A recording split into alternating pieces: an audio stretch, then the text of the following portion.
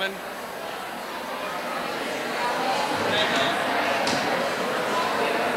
ladies and gentlemen, welcome to Power's 40th anniversary.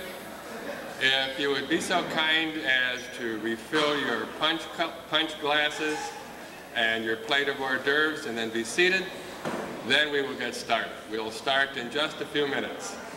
We'll give you that much of a chance. Thank you.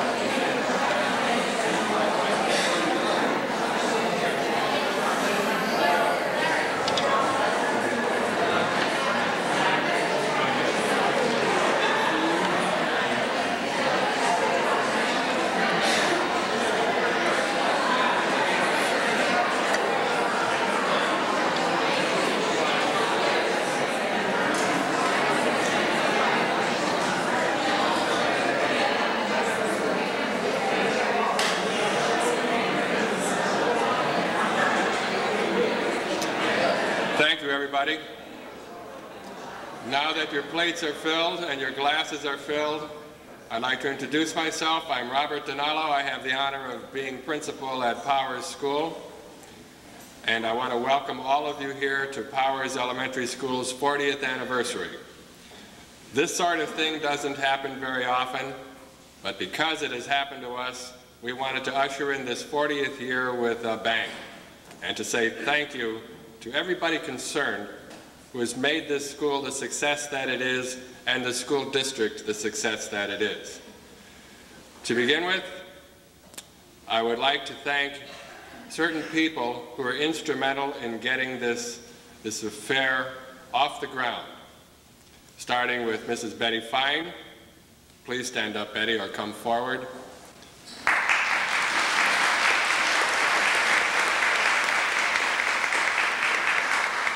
Mrs. Shirley Young.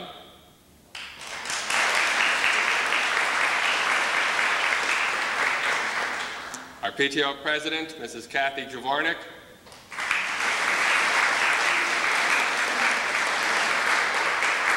And Mrs. Kay Teets.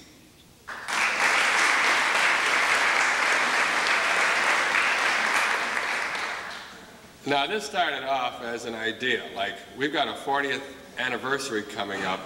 Should we do something about it? And then the answer was, yes, let's do something about it. And so here we are. And it took an awful lot, an awful lot of planning and a lot of last minute things, but by golly, we think it's worth it. Because as I said earlier, a 40th anniversary doesn't come very often. You know what the next stop is. That's 50. And we'll see what happens when we hit 50. We have a lot of people who have come back to Powers School tonight. I would like to introduce all of the PTO, past PTO presidents and our past teachers. Let's start with the teachers. Would you stand up, please, one at a time, give your name and when you taught here at Powers. Let's start at this table. Don't be shy. My name is Jackie Buell Murray now, and I taught kindergarten here in 1957.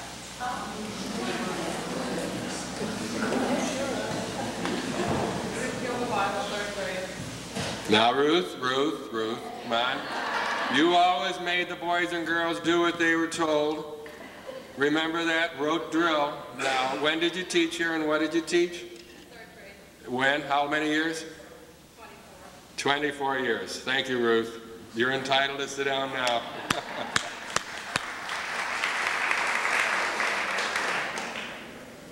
I'm Martha Manners, and I taught 20 years here, and I retired in 79.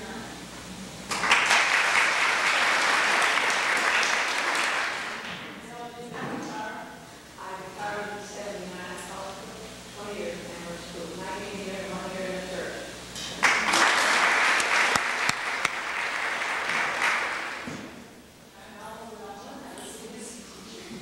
in the system for 24 years, but I'm not entirely in Howard School. I floated around somewhere and we were.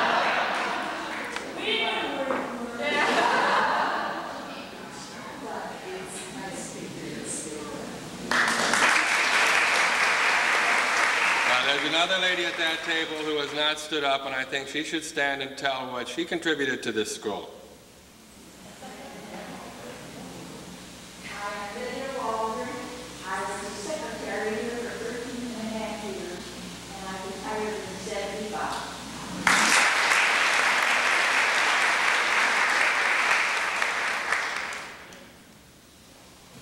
All right, if we're going to be shy, then the next table, please.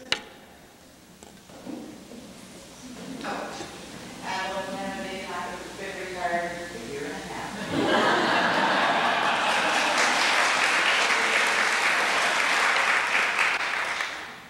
Mary Beth Blair, and I started here in 1967 in the second grade.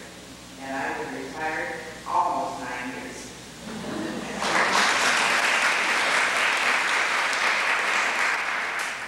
I'm Mary Frank, and I taught here from 1967 to the middle of 71 when I transferred to her school. And I've been retired almost two years.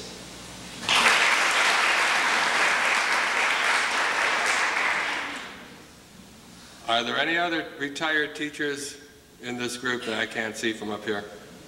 My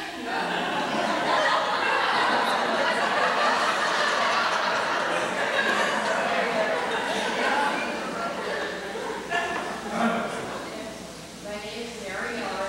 I began teaching in 1962. I taught first grade for two years and 28 years in kindergarten, and I've been retired now for about six months.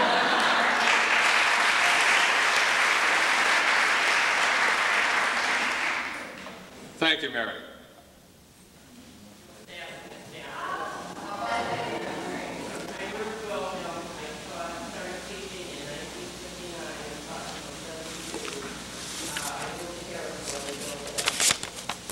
You may see me at the Amherst Public Library now. I was there.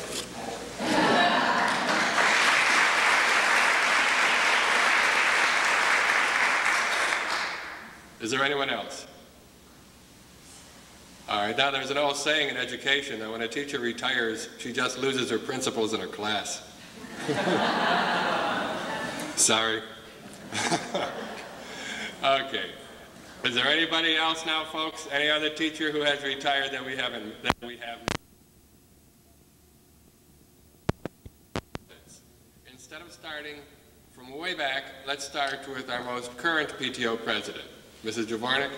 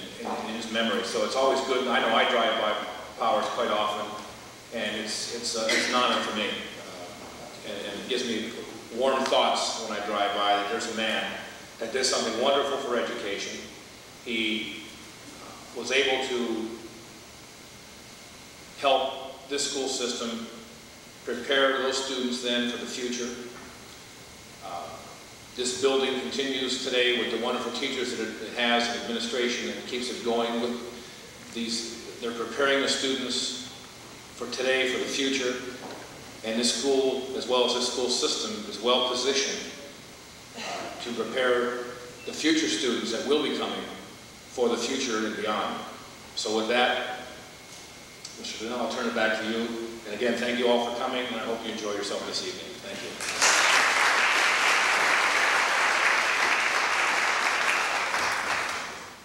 Thank you, Mr. Yacobozi. And now, ladies and gentlemen, I would like to present to you our superintendent, Mr. Howard Dolman.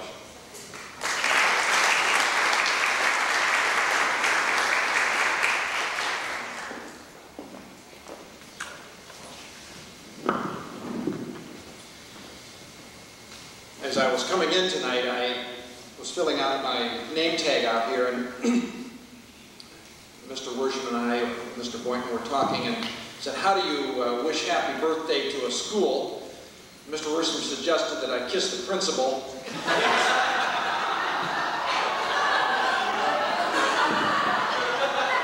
He said every time he did it, he giggled.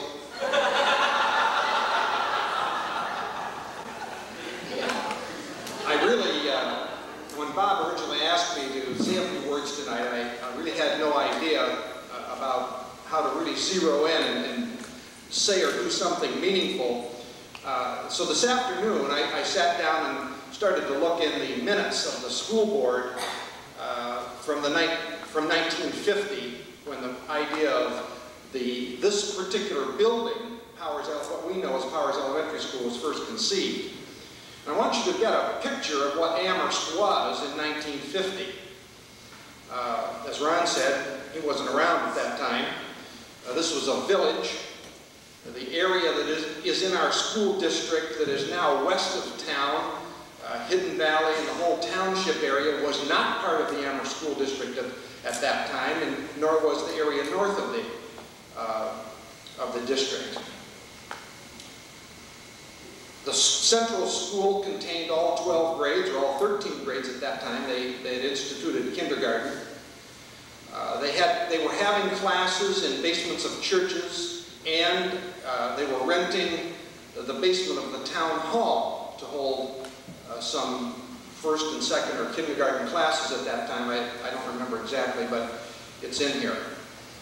Uh, They needed, they knew that they needed to build another building, uh, and that in and of itself was a problem because there were people who wanted to keep Central School as the center of, of the town.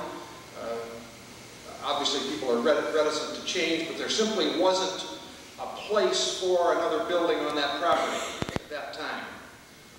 The school board members decided that they would put a levy on the ballot and ask the people of the village of Amherst uh, for money to build a new elementary school. That levy was placed on the ballot in November of 1950, and it passed overwhelmingly, uh, 595 to 147.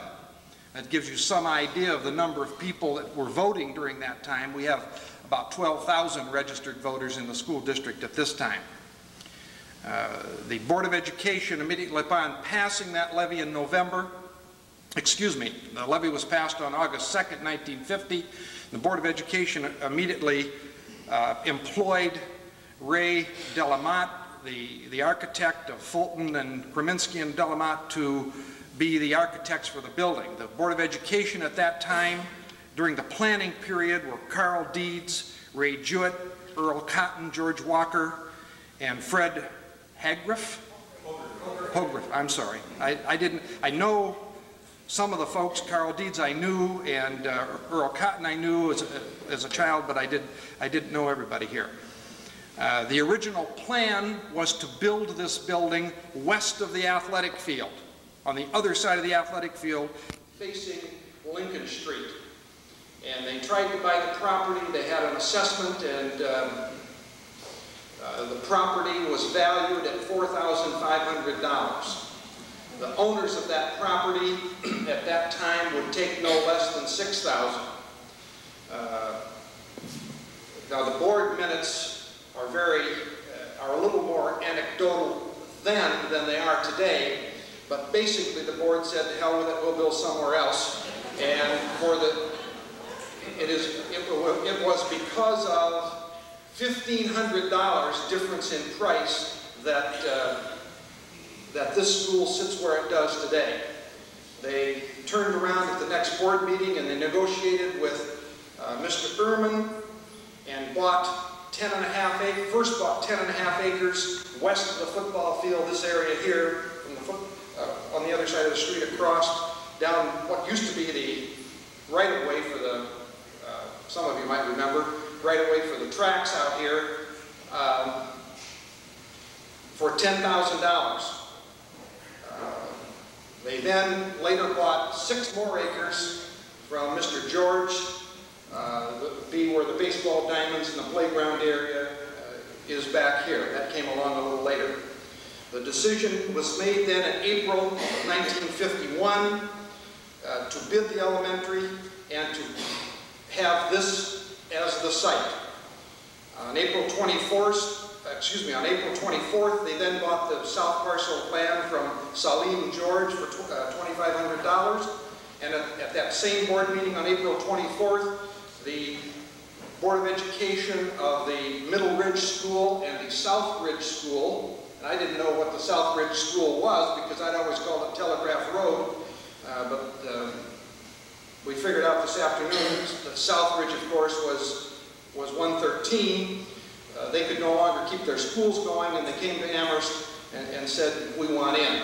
They were part of the Lorain County system at that time, and uh, the Amherst system passed a resolution that they could either come and become part of the schools or pay tuition to be here.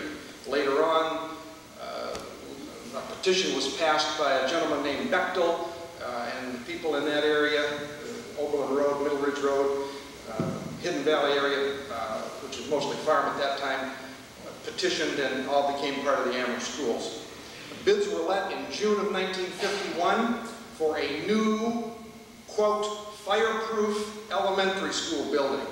And it's interesting to me that the word fireproof appears every time they talk about this school. Uh, A special note uh, that I happened to note at that time, bus drivers were at that time being paid $5 a day uh, to make their runs, and any after-school trip was at $1.25 an hour. Bids were open on July 21st, 1951, and were all rejected. Uh, With the idea that something was wrong, uh, the minutes do not speak to that, and that it would be rebid later. Uh, Later it was, in September of 1951. Bids were opened on December of 1951, and the bid was awarded to Hume and Sigfeld for $393,676 to build this building. That did not include the plumbing, which went to Amherst Hardware for $39,000, uh, and it did not include the electrical. Uh, The total bill came to pretty near $400,000 for this building. To give you some idea, in order for us to reproduce this building today, we we would easily be looking at at $5 million. Um, One interesting sidelight that I noticed as I read through the bids this afternoon was that they rejected using sandstone in the building because it was too costly and they substituted Indiana limestone. Uh, The savings was $2,500, which was a an amount of money at that time. Uh, That was in December of 1951. At the January meeting, 1952, representatives of the Cleveland Quarry showed up, Mr. Morey, Mr. Jones, and Mr. Slack, to complain that the Cleveland Quarry sandstone was not going to be used in the sandstone center of the world. Um, and they offered a new special price on sandstone for this building of $8,929. Uh, the board tabled it with the idea that they would consider it uh, to see if they could be put in. In no place in the minutes can I find that sandstone was ever put in. And in those days, the board had to approve every change to a building. Today, that doesn't have to be, the project manager does that. But in those days, the board had to specifically change every one. So whether they did it or not, uh, I don't know. Um, At that, also at that meeting, Mr. Otto Rummer, Rimmer, was uh, added to the Board of Education. Uh, Mr. at- at- Also at that meeting, Mr. Powers was rehired as superintendent on a two-year contract for $6,200. Uh, The Board of Education also purchased a bus at that meeting for $1,527. Darn. Today, for those of you that aren't aware of the humor of that, today a school bus will run you anywhere from forty to $45,000. Uh, And by the way, the school board voted to borrow the money from Spitzer's Motors to buy that bus for $1,527. In March, the city, uh, city of Amherst, or the village of Amherst, griped about damage to Washington Street. Washington Street was gravel at that time. uh, Because of the construction vehicles, an agreement was made to bring, by the school to bring in crushed tone- stone to fix Washington Street, uh, which was dead end anyway, but um, evidently people were complaining. On April 16, 1952, the Board of Education declared an emergency in order to buy up furniture. Uh, And in the minutes of the board, there's a detailed list of the original furniture in this school, much of which is still here. Mr. Mr. Danello re- reminds me of that all the time. On April 22, 1952, all of Amherst Township was transferred officially into the Amherst Exempted Village Schools from the Lorain County Board of Education, and all the taxes uh, from that area uh, came. Also at that meeting, a color scheme for all the rooms was, uh, for, uh, for this building was uh, approved, and at that time, in all, they began calling it the Amherst Elementary School in the board minutes at that point. Uh, One of the other interesting things was that the storage room was changed to a shower room for the betterment of education. And my only, uh, my my guess, my guess, yeah, would be that uh, that's the uh, room over there, and uh, we call it Mr. D's room, it's all right. The, uh, Al Miser was hired uh, to work for $1.65 an hour on the football field during the summertime and was congratulated by the Board of Education uh, at the end of the summer as doing the best job ever in taking care of the football field. Clearview, by the way, was playing the football games here. They rented our football field for two years because they didn't have a, they were either building or didn't have a field of their own and were playing all their games over here also at that time. Uh, Of course, this football field wasn't here at that time. We were in the process of- of getting that going.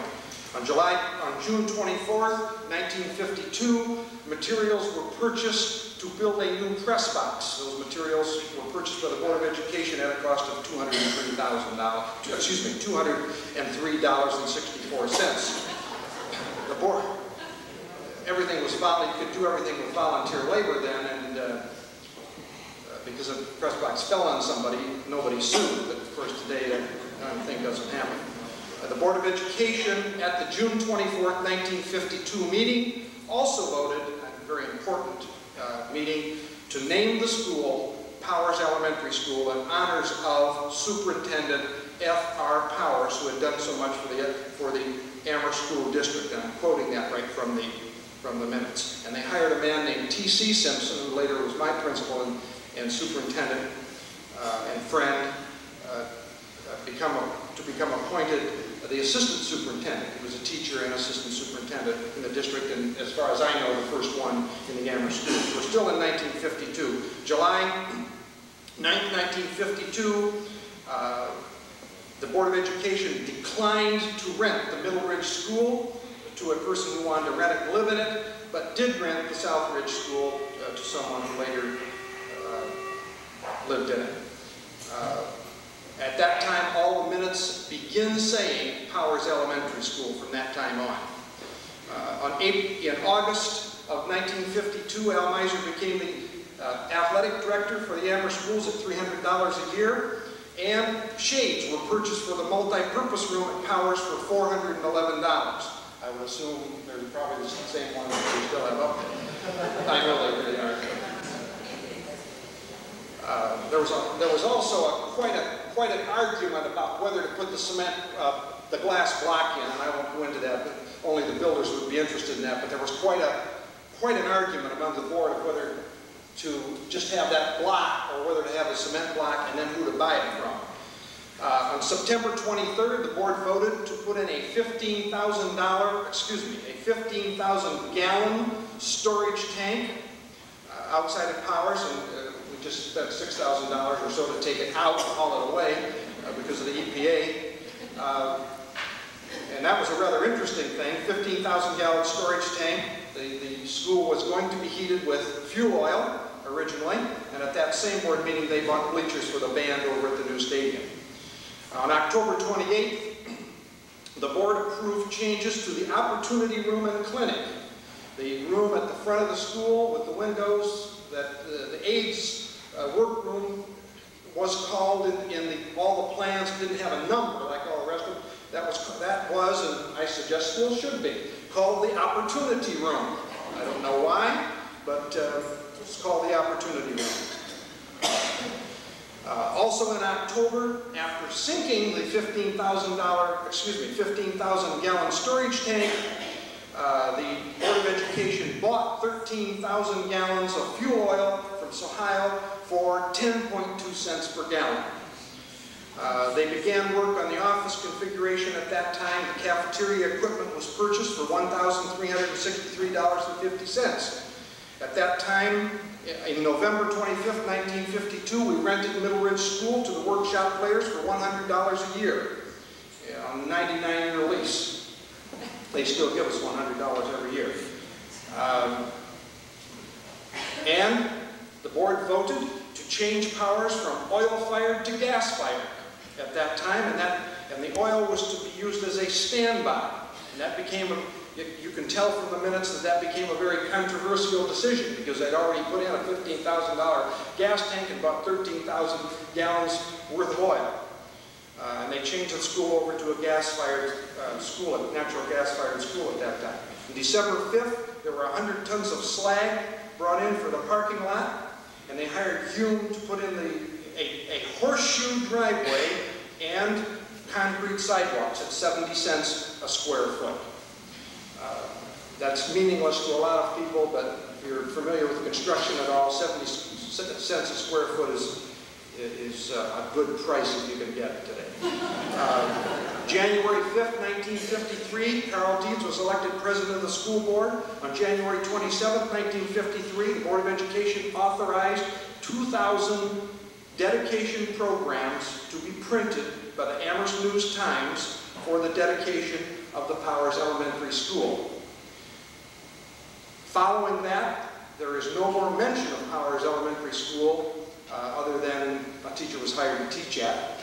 Uh, and uh, on February 24th, they bought insurance on the school. They decided to buy insurance on the contents and, and on the school at that time.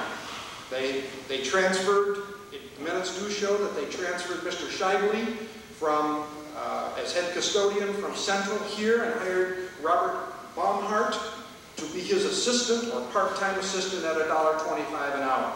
They hired Beulah Reinhardt to be the head lady cafeteria worker.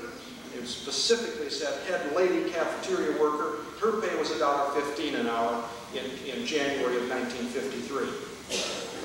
Uh, and that's all I could really find. The minutes then, I think, assume the job is done and we're not going to keep track anymore, and there wasn't a whole lot said in the minutes after that.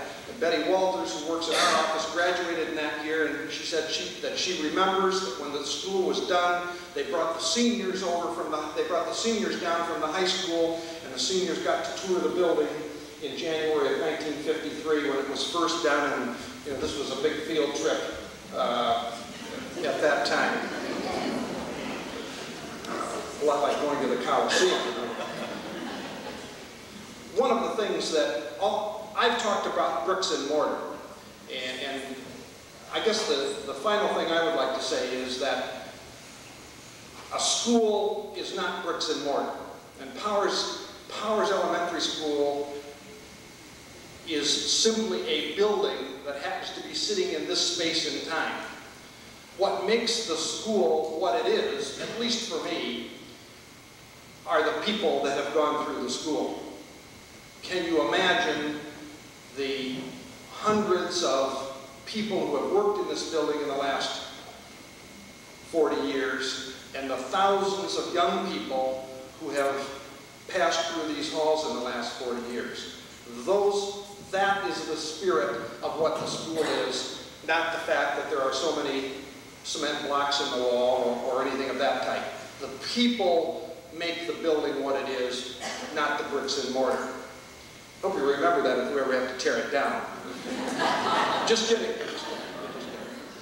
Uh, finally, I, I, also, along with Ron, would like to thank you for coming tonight. Frankly, I, I'm very pleased and surprised uh, that there are so many people here. Uh, it's a lot of fun, and uh, I'm going to turn it back over to Bob at this time.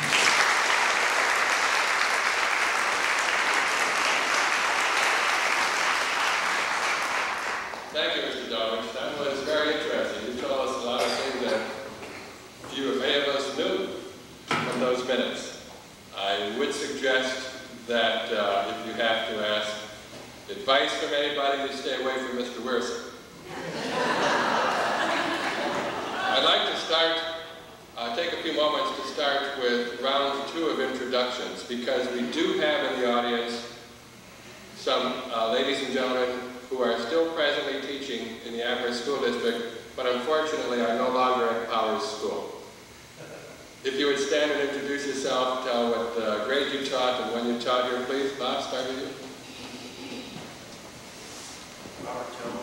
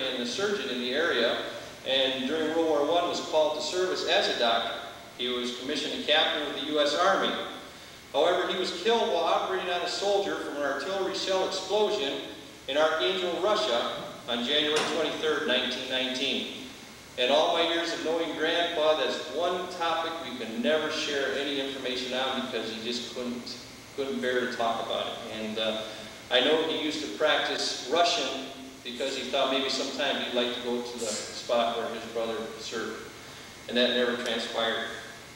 The Powers family moved to South Amherst in 1895 and later moved to Amherst.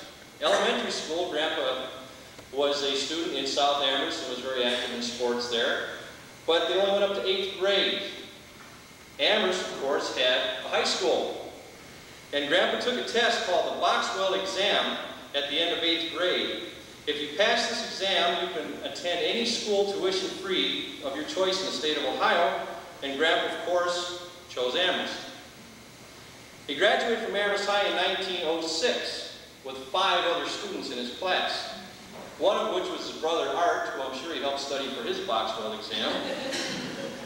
And the rest of the people were all from Amherst community, including my paternal grandfather, Norman B. Miller. Grandpa would refer to himself as the short of his class, being only 5 feet 8 in height. And Grandpa Miller, the long of the class, who stood at 6 foot 5. So I guess that's why I am standing as tall as I am right now. Uh, Grandpa Powers once again took a test and became an elementary teacher in South Amherst. And this prompted him to further his studies. So then he went on to Oberlin College, graduating in 1913.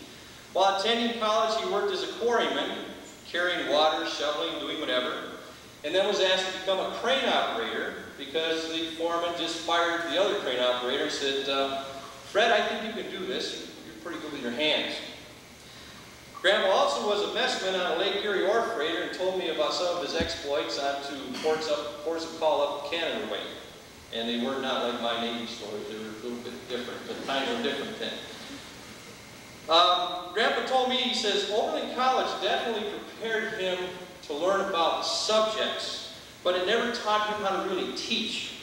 And he took very many courses on teaching and administration uh, from Columbia, Worcester, and Southern California. He says that those really taught him how to teach and communicate, and, and by all means, he was a communicator. He taught in Amherst schools after graduating from Oberlin in 1913. He taught from 1913 to 1914 and coached many sports, including football and boxing and a few other rough and tumble things.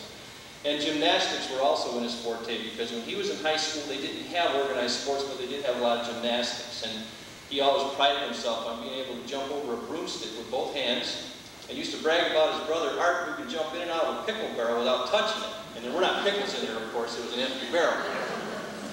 And these were feats that he would always do, and he always was proud of his physical being. And I, coming home from the Navy, I will share one Navy story. I came home from basic training in the Navy, and Grandpa Powers taught me how to do a proper push-up. And he says, well, let me see how your push-ups are, see if the Navy's doing what they're supposed to do. Well, I jumped out on the floor, fresh out of boot camp, and I popped off about 20. And Grandpa, after I stood up, jumped down, popped off 10, looked at me and says, I better stop now. I thought they were pretty good. you must remember he was an eight-year, I think an eight-year-old man at that time. So I challenged some to do 10 push-ups, and they might get up, might not. I don't know. Uh, Grandpa then moved on to Madison School as a superintendent. He got word they needed a superintendent there, and his schooling pretty much guided him into that direction. He was superintendent in Madison from 1914 to 1918. And he started their football program there because he thought it was very important, as Mr. Jacoposi and I will agree, that football is a very good thing to help us because we did play side by side for many years in the Amherst Gridiron. And back to Amherst, Grandpa came as the superintendent in 1918 until 1956. He was a principal then at Powers School from 1956 to 1962. After he retired, I asked him, as a third grader, he used to stand at the head of the hall out here, and he would watch everyone go by. And he'd tell everyone, he'd say, hello, Johnny, Susie, Sally, Fred. He knew everyone's first and last names. And this amazed me. And we would talk about things, and you have to remember, I was a third grader, and I said, Grandpa, why do you want to retire? He says, I'll tell you something, and maybe someday it'll sink in, maybe not, but I'll tell you anyhow. When I first started here, I was a young man, and if I made a mistake, I was, I was a young man, foolish. And as you became middle-aged, if you make a mistake, well, it's poor choice. But when you're older, and you're an old man, and you make a mistake, people look at you and say, why is that old man here? And he never wanted anyone to say that. But no one would. But that's beside the point. That was his reasoning. And then he decided to take another test and pass his real estate exam. He liked taking tests, and he just enjoyed them. That's probably why he gave lots of them. First, he was a real estate salesman with Bill Edwards from 1963 to 1966. And then he moved on as a real estate salesman with Mr. Ray Happ. And the stories Mr. Happ tells you about Grandpa, if you ever have a chance to see Mr. Happ, ask him some, because it's really delightful to hear how he speaks so highly of Grandpa. And he sold homes for Mr. Happ as one of his top salesmen from 1966 until his death in 1983. Grandpa's last house sale was to my wife and me in 1983, which makes me feel kind of proud that he was active and I actually had part in his last transaction. And it, it's just kind of special. Grandpa was married to Ina Merritt and had a son, Harry, who now lives in South Pasadena, California. She died when Uncle Harry was quite young. He then married my grandmother, Pearl Kuss, October 19, 1923, and had a daughter, Mary, my mother. Following came Julie, Elizabeth, myself, and brother Joel. We were his only grandchildren at the time, and God surely knew what he was doing because we were a handful. and now there are eight grandchildren that are connected, and his niece, Marilyn Jane, is here listening tonight also. And to, get, to go along with my theory of hands, for anyone here that's ever gotten a message from the desk of Fred Powers, if you would ever see him in his office, hammering out these beautiful notes of encouragement, of joy, of pride, of compassion, of sharing, They were just wonderful little notes, and I'd get them and, and just read them, and think more of them today than I did then. They were like seeds being planted. My problem was I had slow-release fertilizer for my seeds. Some people were more fortunate and were able to cultivate and, and do theirs a lot faster. But uh, what I'd like to share with you now is a story that was written by Mr. Floyd Lodge. And this man back in 1945, I really feel my feelings and sentiments on Grandpa. And then I will go into some of the pictures I have here and give you a little connection with them. Uh, this picture came from, or the story came from the Ohio Magazine. And I believe uh, Wilhelms are here. Jerry Wilhelm is standing over here. And I think he and his brothers, or your brothers, are part of a, of a shindig they put on there when they went into Cleveland. They had a big orchestra and they had plays. And, and I guess they just were encore, encore for the Amherst students. The thespians there and the musicians were all just fantastic and they couldn't get enough of it. And also people did read their stories. So this is a story that won first prize by Floyd Lodge which was $250. And we were talking about money a little bit ago, and I'd say $250 was a goodly sum of money. And by the way, I figured out the bus is worth 40 times more, so that uh, if you're at a dollar a quarter an hour times 40 when you negotiate my salary next time, you want to keep things even in, in the economy today. Just food for thought. Come spit it out. I, I take that back. Just kidding. It is entitled Powers of Amherst by Floyd Lodge. Wise to resolve and patient to perform. Homer. I often wonder what it is that he is thinking of as he stands in the front hall watching his pupils file by every morning. We must present a sorry sight to his scholarly eye. Just a bunch of kids to whom study is neither a privilege nor a passion, but merely a civilized method of spending time until we are old enough to go out into business, or at the present time until we are drafted. Once again, written in 1945. But as far as the battle for learning goes, we are pacifist, conscientious objectors. Some may think that his shining gifts are wasted in our small village school, but they are wrong. One meets man after man, old pupils of his who have gone to the various businesses and professions, men whose faces light up with affection and remembrance when Mr. Powers' name is mentioned. They may have forgotten much of his agricultural mathematics he taught them. They remember him for his charming personality. He makes all human contacts with unerring grace. He makes it his business to be not so much a teacher as a comrade. When he asks questions, he does so in such a way as to pretend that you know more about that than he does. As a superintendent of the Amherst Public Schools, he sets a high standard for every pupil. He shows an entire interest in all kinds of people, and he knows all kinds of people. He is just as much at home strolling down a corridor conversing with a second grade student as he is with a child's parents or as he is with factory workers in our local plant where he has worked weekends during the war and everyone calls him Fred. Like Emerson's gentleman, he is good company for pirates and good with academicians. How's that, Mr. Blazer? Thank you. He's easy to get along with, but it's hard to get along without him. Not only does he get along well with us at school, but with everyone else in the community. And this means teachers under him, the members of the Board of Education, parents of the pupils, and people without children in school. In one way or another, everyone is interested in schools. And Mr. Powers does a splendid job of leading, directing, and guiding all these different groups so that they all pull together for one thing, better schools. He spends much time and thought considering a plan of action, but once his mind is made up, it takes more than high water to change it. At Oberlin College, where he worked his way through school, dancing was not allowed. I just can't imagine that Oberlin. I'm sorry. It just, that was a very avant-garde school, but uh, those were the times. You probably can't see much connection between, uh, oh, here we are, Oberlin College and dancing. However, he does enjoy reading the congressional record. You probably can't see much connection between these two activities, but it was amusing to say the least when he used to attend some of the dances here at school and then settle himself on the top bleachers to enjoy the congressional record. Mr. Powers is a regular church member, but what is more important, he practices his religion. I think he must lead a happy life, for he gives so much happiness to others. Mr. Powers has taught many outstanding students, including many prominent businessmen, teachers, lawyers, even active president of one of the greatest universities of learning in the United States. Maybe it is these people he thinks of as he stands in the front hall. Maybe he sees more of them in us. They say the teacher is justified by his students. Whatever it is that keeps him here, we deeply appreciate it, for he is truly a great man. And this is just so fitting. It's the way I thought about him today when I or through last week when I'm putting the speech together. And here, Mr. Lodge felt the same way back in 1945 in his senior year of school. And I just find that amazing. I brought something special tonight. This is a nail. This doesn't look like much. I remember Grandpa was five foot eight, but remember at 80 he was doing push-ups.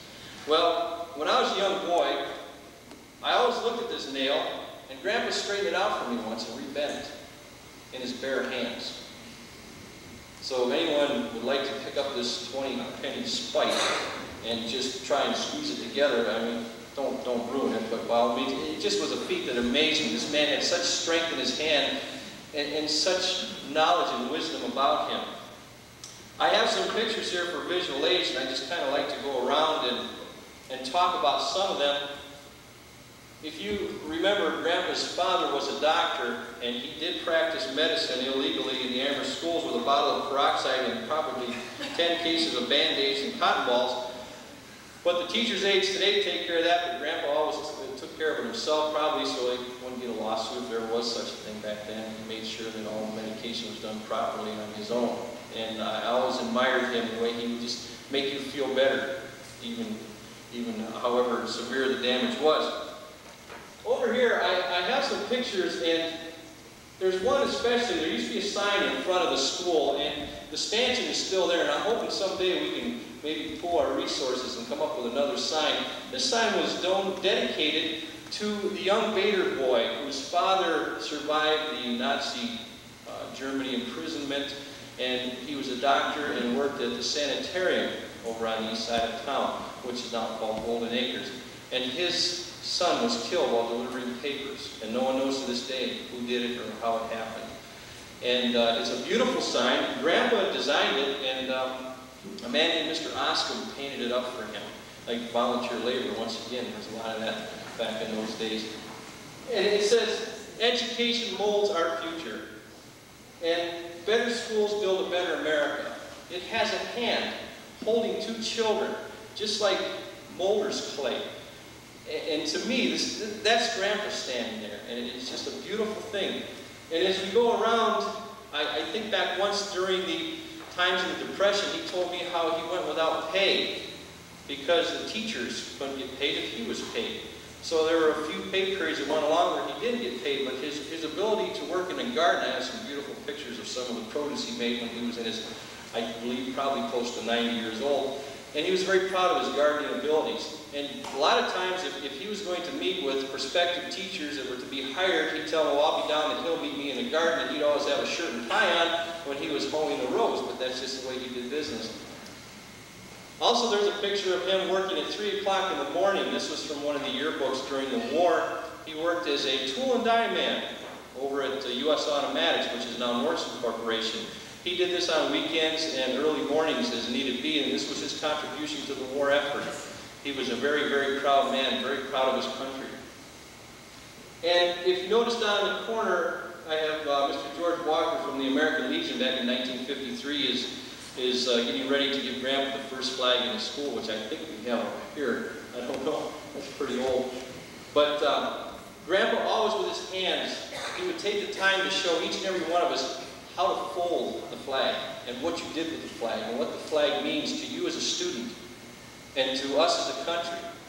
And that's something that was instilled in us, and I hope I can always maintain that throughout all my life. It's something he was very proud of to his dying day. He's, his flagpole was broken one day, and he says, can you fix it? And I climbed it, and I fixed it, and it's 60 feet tall, everyone wants to go by it. But uh, he was very proud of that also. And moving along, there in the center is a picture of Grandpa with working with students over here in the library at the time, and he has a tape recorder set up. And he loved to tape record students reading and play it back to them and show them what their accomplishments were. And he always had a tough time reading these stories about, well, Johnny can't read, and finding out all the reasons why. He worked with a mildly retarded boy, I was sitting there listening to the recordings, and he taught this boy to read, they said he never would. And Grandpa, on his own time, said, yes, he will. And he proved it. And to this day, I'm actually this, man is still reading along, thanks to Grandpa. But he always had this drive to help everyone get everything out of them for their best potential. Over here, there's a presentation of the first picture I just thought was mom found, which was amusing. And down at the bottom is a car that Grandpa was given somewhat. Uh, in 1962, when he retired, the Board of Education kicked in somehow. Mr. Delmage will have to get the minutes out of that to get the whole story. But I know Grandpa paid part of the car and traded his old car in. I think he had like a 57 Oldsmobile at the time, somewhere in there. And he got this beautiful 62 Olds Rocket 88, and it was just a pleasure to drive. And if anyone ever remembers uh, Fred Powers driving, it was usually one hand on the wheel and the other one waving to everyone he knew, which was about everyone he saw.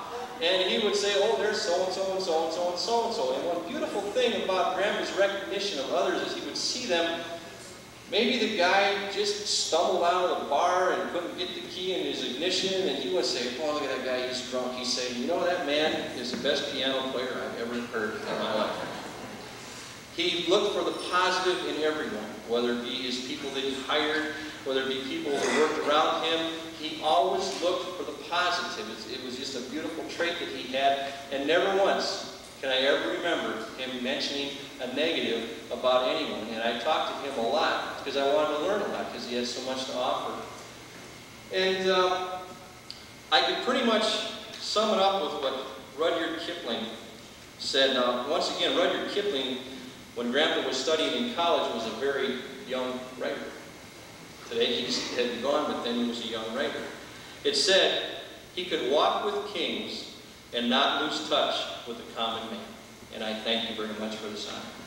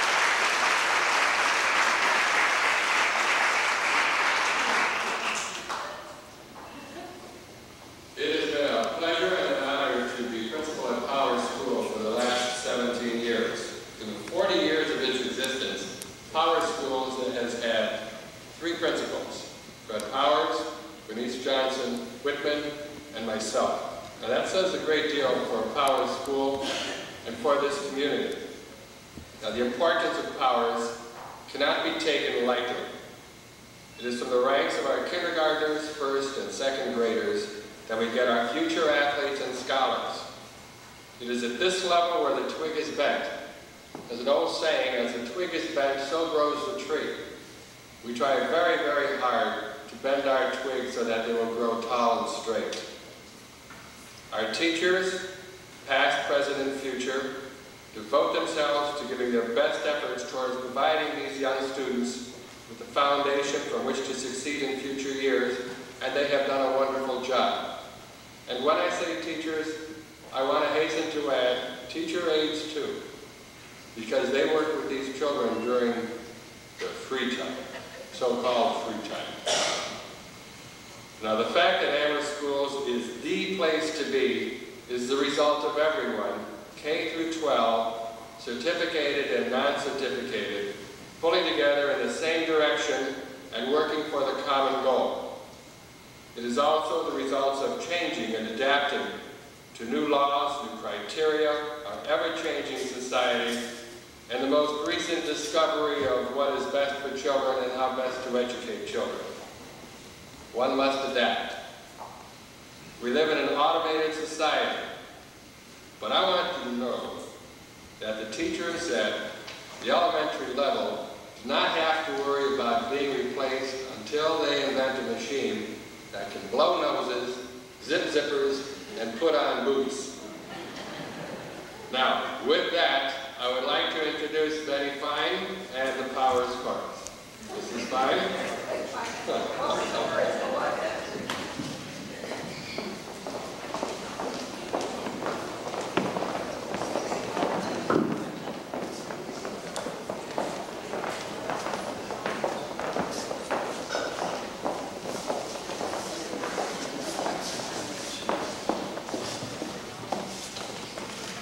Thank you very much, Mr. Danello.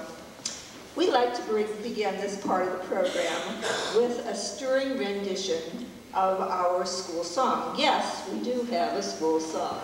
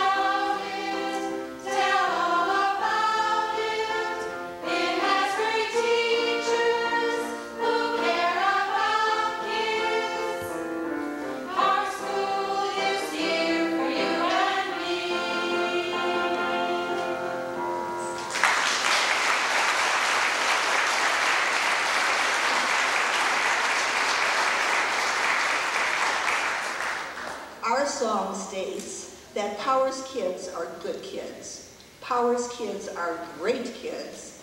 And as proof of that, here are five of the greatest Powers kids. Five who return to teach here. We are so proud of Marge Kasakowski Lasowicz. Would you stand, please?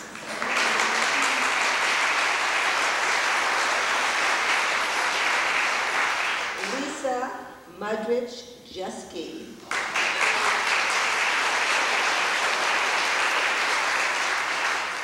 Pat Garland Schuss.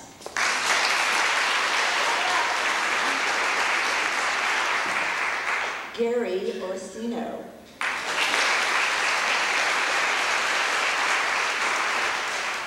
Lonnie Sandrowski Hart, who is not here this evening, still the kid. She's at the orthodontist tonight.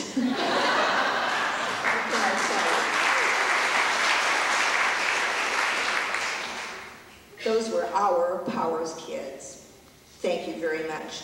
Now, for a few of those Powers kids' memories.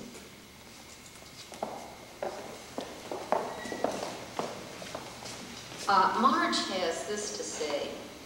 Powers holds many fond childhood memories for me. My first experience with school began in Mrs. Schneider's first grade classroom. Her room was right where Mrs. Swift's class is presently. I remember reading classes being run in the stage here in the gym. Our first experience with plays was Mrs. Schneider's production of the ugly duckling. I remember how strange it felt to come to Powers as an adult and teach here. I got to go in that special room where only teachers went and did whatever mysterious things they did there. Also, I'm very proud that my daughter Danielle will have her foundation in education at Powers.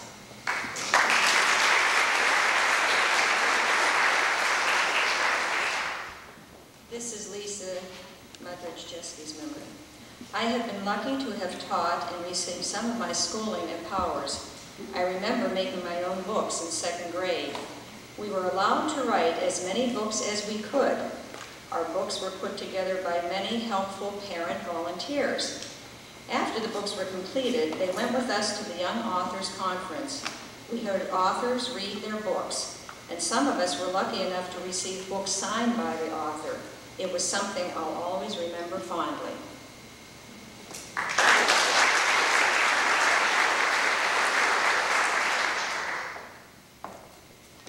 Lonnie Hart has fond memories of her first day at Powers School.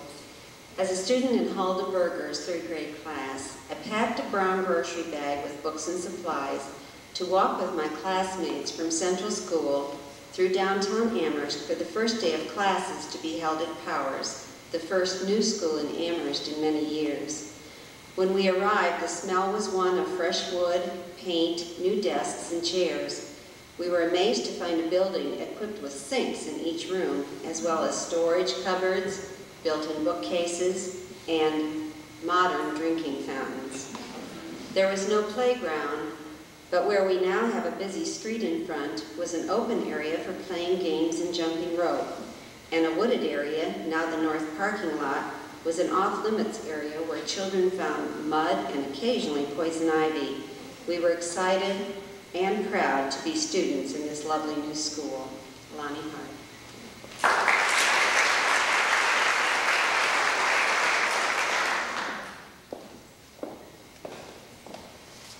We have more memories that we'd like to share with you. This one is from Bernice Johnson Whitman, who was principal here at Powers from 1962 to 1976. Today, I tried to lock myself in the Florida room, which is far enough away from everyone so that I can think and write to you. It has been 17 years since I left Amherst. I'm very, very old. Will be 85 in July. Just think, only 15 more years and I'll be 100. Boy, oh boy, how about that? Life has been good to me. I still see the good side and the funny side. Emery and I have traveled around the world, but do you know what? I still love the days at Power School in Amherst. I enjoyed the teachers, the pupils, the parents, and everyone I ever knew. Amherst, I'm sorry, Amherst is the place that I have loved the most. Stan and I enjoyed teaching. We enjoyed the people, the teachers, the young people, as well as the little ones. Working with Mr. Powers and Mr. Smith gave me a great interest in the lives of little children and how to teach them to enjoy life and be happy. I always wanted our school to be a happy place for children to learn and enjoy. Life is what you make it, and I always felt with the kind of teachers I had chosen, the children would have all would all have a good education and a happy life. Our teachers were all different, but they all had a love for children. They were sympathetic, they knew how and what was the best way for children to learn. We kept our children happy. Happy in their work, with a little fun and a lot of love and understanding. I would love to see everyone again. I think of the teachers that are still here, and I am happy that I had a little part in welcoming them to Powers. Love to you all, and best wishes on this special anniversary, Bernice.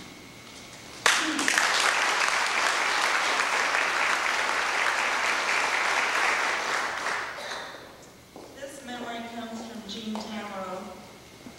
I could never forget the preparation for the annual May Art Show when Mrs. Johnson was principal. Since we had no art teacher at the time, all projects were guided by the classroom teacher.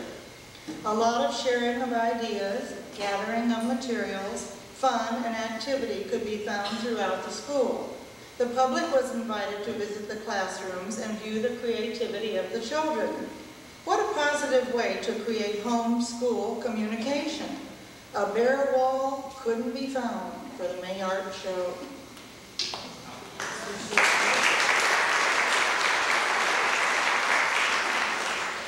This memory comes from Cheryl McCloda. I remember how exciting it was to be leaving Central School and going to a brand new school. We walked as a large group carrying our personal school supplies. When we arrived at Power School, it was so clean and polished, we were afraid to mess anything up. The halls were so long and you could see outside from every classroom. The thing that impressed me most was the eloquent speech Mr. Powers made to all of us. I no longer remember the context, but the impact still lingers after all these years. Each time Mr. Powers spoke or wrote anything, it was with great care and always right on the issue. It is easy to understand why Powers School was named for him.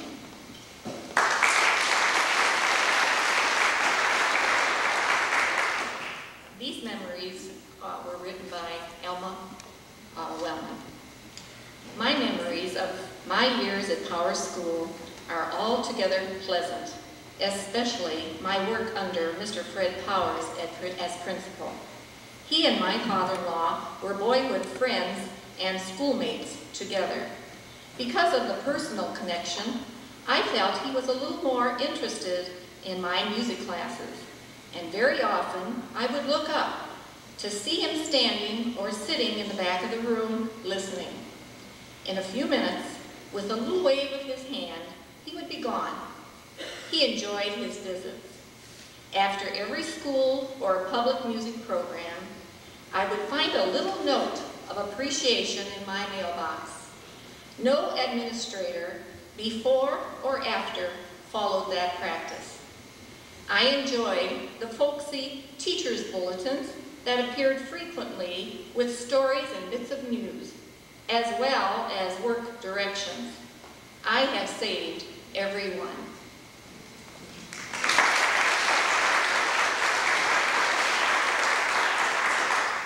I'm honored to read a special memory from Mary Powers Mill. When Powers School was dedicated on February 22, 1953, three of my four children were born. Because Dad loved Thanksgiving at Power School so much, he wanted to share it with me and his preschool grandchildren. So, we would celebrate the coming of the pilgrims crammed into his office with our dinner trays in front of us. What a special treat this was. In 1962, Dad's retirement year, I moved into a room of my own in Powers and was able to be there for my four children and later eight grandchildren who have all checked out Grandma at work. For all of the above, I am truly grateful. With love from Amherst's oldest Powers girl, Mary Powers Miller.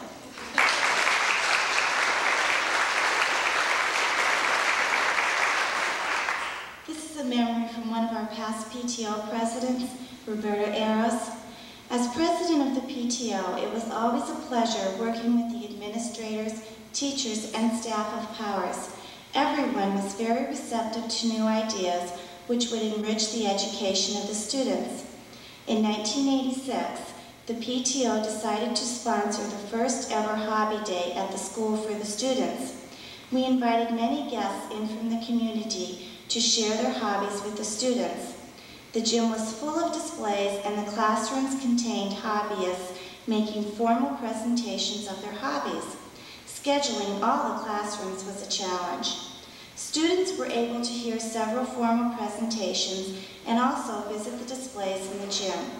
With magnificent help from the teachers and staff, I believe Hobby Day was a success even though it took place right in the middle of Right to Read Week. I'm sure many of the teachers will not forget this day.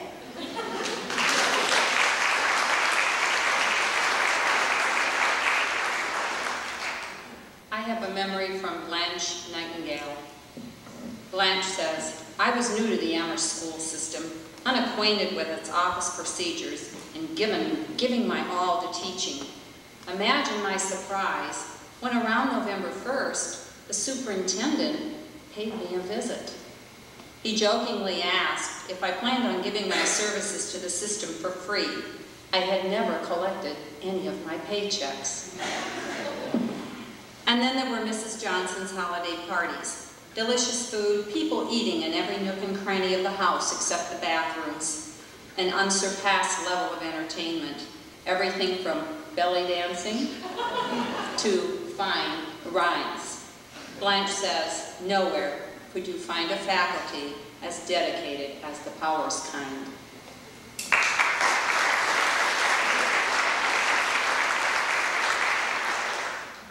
I'd like to share a poem with you that was written by Jan Orsino. My memories of Powers go back a long way, when the walk through the tunnel really blew us away. The pods were all open, yellow, red, and blue, and students change classes, carrying tote trays too. But the memories that are fondest and dearest to me are not of the building, but the people you see. The wonderful times shared with friends so dear, I'll keep close to my heart year after year. And the memories whose time shared with me is past are the memories I cherish, the memories that last. Before I leave the podium, uh, this is not planned, um, I'd like to say a special thank you to Betty Fine for all of the music that she has written to us, for us over the years. Um, we never have an activity here at Powers without a fine song. So I thank her on behalf of the staff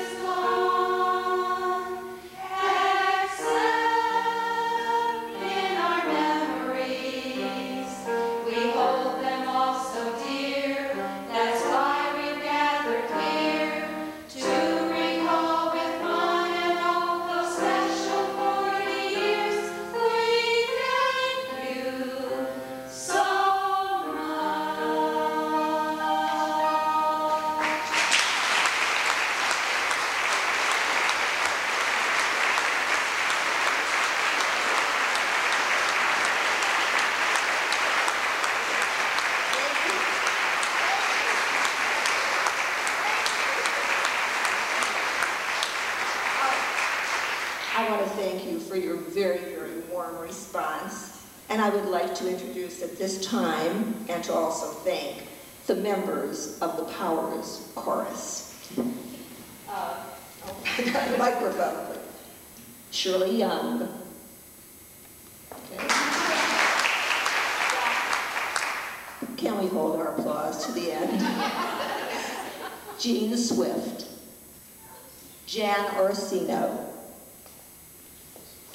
Dickerson, Pat Schuss, Teresa Majoris, Mary Jo Mumford, a newcomer to the Powers Chorus, Jean Wheeler, Sue Nalitz, and sneaky Judy Guys.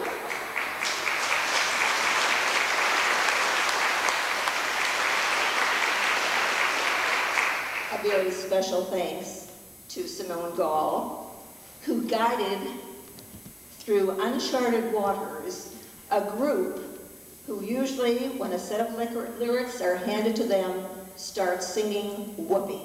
What can I tell you? I'd like to thank Simone Gall for her efforts.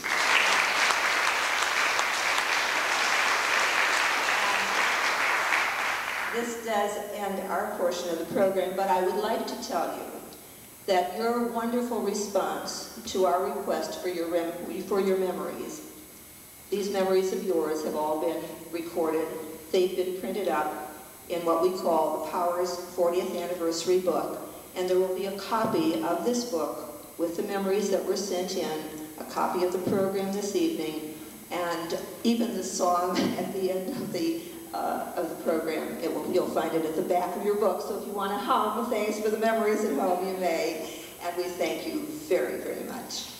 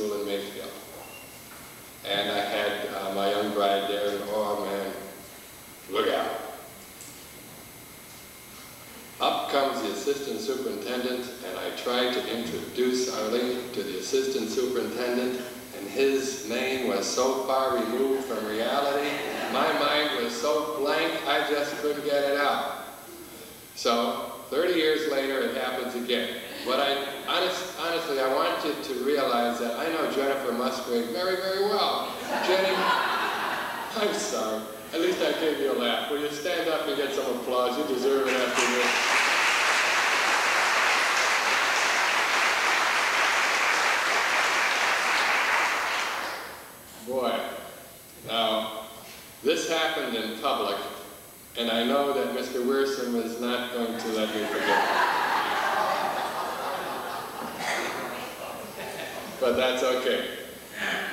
Now, at this stage of the game, because you have been such a great audience, I'm going to turn this over to Mary Miller, who will light our 40th anniversary cake. Mary, and would you care to say anything, Mary, or do you just want to light the candles?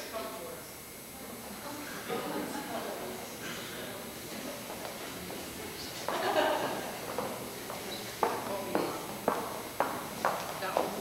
was gonna stand, I was gonna stand by the cake and say it. That's part of the plan. You can hear me, I, I think, right? Yes. All right. I'm going to light the candle first for the first 40 years. And I guess you've probably figured out that Fred Powers was no purveyor of gloom and doom. He was a, an advocate of Norman Vincent Peale and his power of positive thinking. And he continued this way of thinking all through his life to his very last day. There was a Chinese proverb, old Chinese proverb, that my dad felt very much in touch with. He enjoyed this so much and he felt so close to it that he had it printed on the stationery of Power School. And today I looked and looked and looked and finally found one last remaining envelope that probably is in, still on planet Earth. And here it is. It is better to light one small candle than to curse the darkness. This was Dad's philosophy of life. And this is the way he lived. And believe me, that light radiate, radiated out, radiated to many.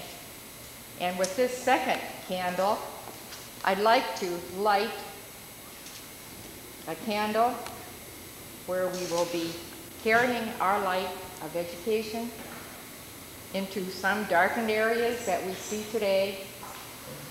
And Dad, we're on the road to the next 40th.